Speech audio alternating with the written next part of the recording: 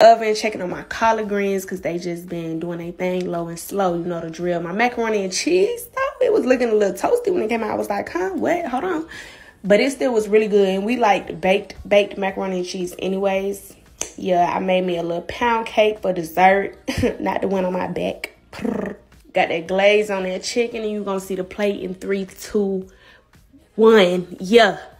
I don't gotta talk too much. You know what I'm saying? I don't even gotta talk too much. I'm not like you bitches. You know what I'm saying? Y'all talk too much, and that's the problem now. But you know, that's another story for another day. Like I said, um, pound cake from scratch, looking like that, perfect buns, and not the one on my back, bitch. Whoo, she's a rapper. Only thing is my glaze was a little too liquidy, so it all fell to the bottom, but it was still moist, busting.